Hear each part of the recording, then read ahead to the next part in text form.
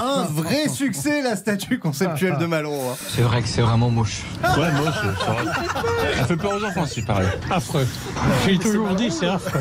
Affreux, non, c'est la statue, c'est pas Ah Malraux. bon, mais vous me rassurez. Mais pourtant, on s'y attache, comme à celui de Villeurbanne. À Villeurbanne, il y avait le lauréat du concours du rond-point le plus moche de France. Mais un chauffard a eu raison de lui. La ville va faire reconstruire l'œuvre à l'identique. Eh ouais, deux cabanes très moches posées l'une sur l'autre. Un chauffard se les prend. Tellement moche, en fait, que ça en devient un atout, la preuve. Oh, ben, je suis la plus heureuse. Des ronds-points, euh, il y en a des jolis, mais c'est des bancs, c'est de la verdure, c'est joli. Mais celui-ci, ben, il est unique. Ah ouais, c'est très laid, mais au moins c'est unique.